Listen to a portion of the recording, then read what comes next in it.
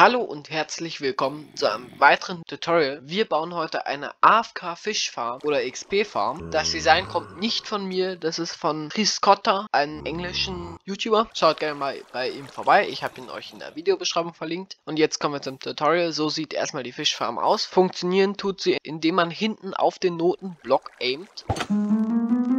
Dann öffnet sich die Eisenplatte es verbraucht, wie man sieht, nicht mehr Haltbarkeit von der Angel. Und es geht genauso schnell wie beim normalen Fischen, nur dass man hier jetzt theoretisch was auf die Maus legen könnte, auf die rechte Maustaste. Und dann würde das von selbst weiterarbeiten.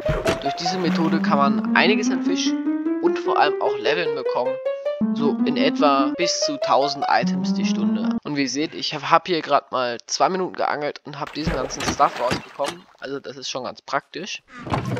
Jetzt kümmern wir uns aber mal darum, wie man das Ganze baut. Zuerst müsst ihr zwei breit ein Loch bauen und dort zwei Kisten rein platzieren. Das reicht auch eine, aber dann ist sie halt relativ schnell voll. Dann hier vor auch noch die zwei Blöcke abbauen. Hopper bzw. Trichter in die Kiste reinführen. Also muss das so aussehen, ne? Dann muss man auf den Hopper einen Zaun setzen und hier neben das Loch, also hierhin, einen Noteblock. Über den Noteblock braucht ihr temporär einen Block, an dem ihr eine Iron Trapdoor setzen könnt. Den Block könnt ihr dann wieder abbauen.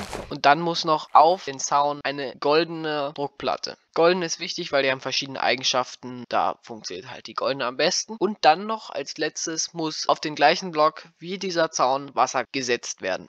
Das läuft dann immer in dieses Loch und schon ist es fertig. Jetzt müsst ihr nur noch auf diesen Noteblock aimen, so dass halt der Angelhaken auf der goldenen Platte landet, beziehungsweise von dem Zaun aufgehalten wird und dann nur noch durchgehend Rechtsklick halten. Und jedes Mal, wenn ein Fisch kommt und geangelt wird, geht die Eisendruckplatte einmal zu.